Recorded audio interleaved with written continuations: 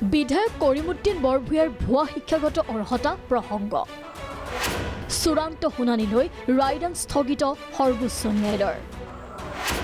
সৰ্বোচ্চ ন্যায়ালয়ৰ ৰায়দানৰ অপব্যাখ্যা কৰিমুদ্দিন বৰভূঞাৰ।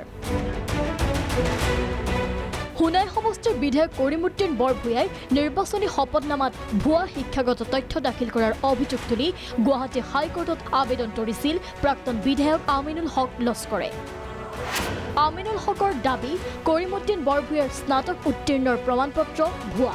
পিছৰ নিৰ্বাচনত যিটো কৰিমুদ্দিন বৰবৰীয়াৰ ফ্ৰম টুৱেণ্টি ছিক্স যিটো হলফনামা দিছিলে তাতে সি উল্লেখ কৰিছিলে যে সি ডিগ্ৰী পাছ কৰিছে চৌধুৰী চৰণ সিং ইউনিভাৰ্চিটিৰ পৰা আৰু হায়াৰ ছেকেণ্ডেৰী পাছ কৰিছে জি চি কলেজৰ পৰা আৰু ডিপ্ল'মা ইঞ্জিনিয়াৰিঙৰ আমি যিমানখিনি জানো যে চৌধুৰী মানে কৰিমুদ্দিন বৰবৰীয়া অকল matric pass. Public higher secondary স্কুলৰ পৰা মেট্ৰিক পাছ কৰিছিলে এইট্টি ফ'ৰত আমিনুল হকৰ আবেদন খাৰিজ কৰিবলৈ পৰৱৰ্তী সময়ত হাইকোৰ্টত আবেদন কৰে কৰিমুদ্দিন বৰভূঞাই। কিন্তু ন্যায়ালয়ে নাকচ কৰে কৰিমুদ্দিনৰ আবেদন।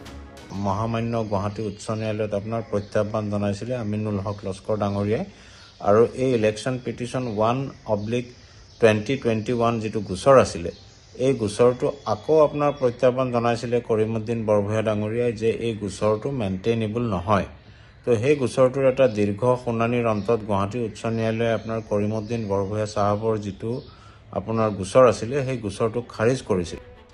ইয়াৰ পাছত এই আবেদন খাৰিজ কৰাৰ আৰ্হি লৈ সৰ্বোচ্চ ন্যায়ালয়ৰ কাষ চাপে কৰিমুদ্দিন বৰভূঞা। চূড়ান্ত শুনানিলৈ ৰায়দান সংৰক্ষণ ৰাখে আদালতে। কৰিমুদ্দিন বৰভূঞা চাহাবে আকৌ গৈ পেলাই মহামান্য উচ্চতম ন্যায়ালয়ত আপোনাৰ প্ৰত্যাহ্বান জনাইছিলে।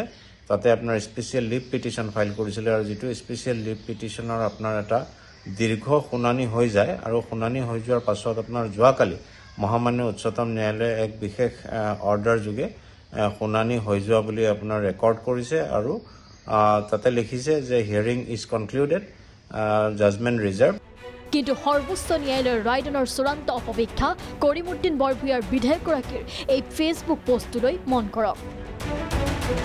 পোষ্টটোত উল্লেখ কৰিছে যে সৰ্বোচ্চ ন্যায়ালয়ে তেওঁৰ সপক্ষে ৰায়দান কৰিছে।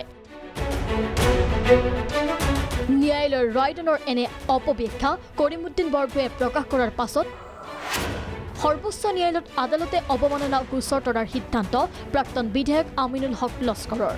এই অৰ্ডাৰটো ওলোৱাৰ পিছত কৰিমুদ্দিন বৰবৰীয়া তাৰ ফেচবুক আইডিৰ পৰা এটা পোষ্ট কৰিছে সত্যমে জয়তে যে আমি সুপ্ৰিম কোৰ্টত আমিনুলে যিটো অভিযোগ আনিছিলে চব খাৰিজ কৰিছে আমি কেছ পাই গৈছোঁ এনেকৈ এনেকুৱা আমাৰ জাজমেণ্ট যিটো যিটো ইণ্টাৰপ্ৰেশ্যন কৰিছে মিছ এইটো লৈ আমি আপোনাৰ সুপ্ৰিম কোৰ্টো তাৰ এগেইনষ্টে আমি কণ্টেম্প কেছ কৰি আছোঁ খালি অহাকালি ভিডিঅ' জাৰ্নেলিষ্ট কুশলৰ সহযোগত বিকাশ অধিকাৰী আৰু নীলকমল কলিতাৰ ৰিপৰ্ট প্ৰাগ নিউজ